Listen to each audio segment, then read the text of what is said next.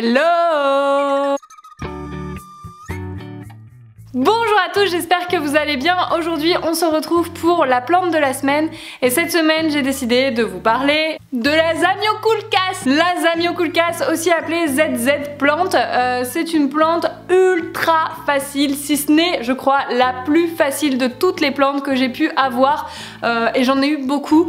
Euh, vraiment, la ZZ, si vous êtes débutant et nul, c'est la plante à avoir chez vous. C'est vraiment la plante warrior par excellence. Mais bien sûr, vous pouvez aussi choisir de la bichonner et de faire en sorte qu'elle se plaise vraiment chez vous et qu'elle grandisse rapidement. Alors pour la petite histoire quand même, alors celle-là je l'ai eu euh, chez Plante Addict mais j'en ai une autre euh, qui a vécu, euh, je sais pas, 6 mois dans le noir total et qui a survécu. Je vais aller vous la chercher. Donc voilà la deuxième ZZ que j'ai.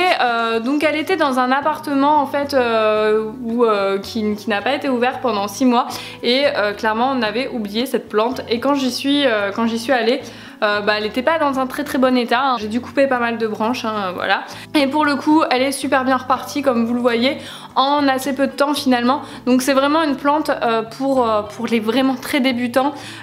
et si vous l'oubliez, c'est pas très grave. Alors justement, qu'est-ce qu'il faut faire pour bichonner cette plante? Niveau température, c'est une plante qui va se plaire dans nos intérieurs entre 15 et 25 degrés. Donc c'est assez large, mais comme je vous l'ai dit, hein, elle est plutôt cool, elle est très arrangeante. Niveau luminosité, euh, elle va se plaire vraiment à fond quand il y a une lumière vive mais pas de soleil direct. Mais si vous n'avez pas euh, de, baie vitrée plein sud, hein, mais plutôt des pièces euh, plein nord, elle va se plaire aussi. Donc elle, pour rappel, elle a été oubliée 6 mois dans une pièce totalement noire, pas un seul rayon de soleil, hein, faut, bien, le dire. Bon alors clairement, euh, elle survivait, hein, elle se kiffait pas du tout. Et maintenant je l'ai mise dans mon bureau qui est orienté nord avec une fenêtre assez petite.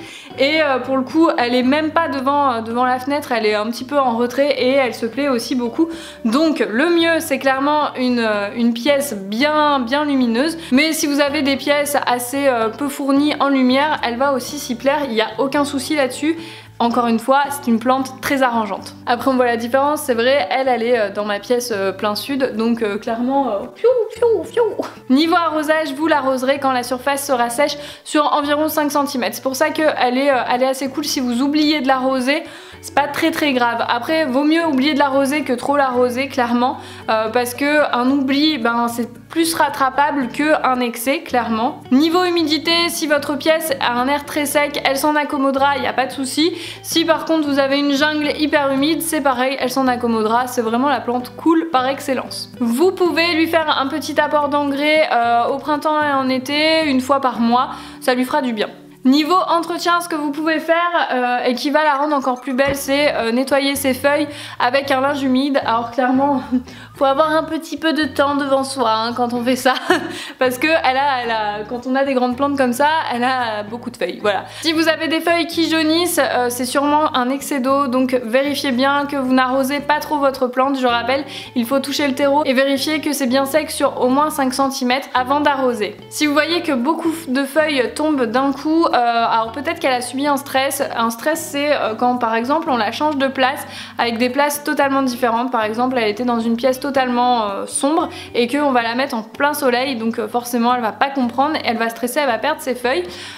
essayez de l'acclimater petit à petit à son nouvel endroit, à l'endroit où vous voulez la mettre pour que elle justement elle n'ait pas trop de stress d'un coup. Si elles ont la pointe des feuilles qui sèche, c'est peut-être dû à un contact avec le soleil direct ou bien à une source chaude comme euh, du chauffage, une cheminée et du coup ça a un petit peu brûlé ses feuilles. Donc revoyez un petit peu l'emplacement, voir s'il n'y a pas une autre place plus adaptée cette plante. Voilà pour le Zamioculcas, donc euh, si vous êtes débutant, si vous avez un cadeau à faire à un débutant en plante, c'est la plante par excellence, la plante warrior qui est super facile à avoir chez soi et que je vous recommande. N'hésitez pas à compléter euh, tout ce que j'ai dit en commentaire si vous voyez que j'ai oublié quelque chose. Et puis si ça vous a plu, n'oubliez pas de vous abonner à ma chaîne YouTube, on se retrouve très très vite pour d'autres vidéos. Salut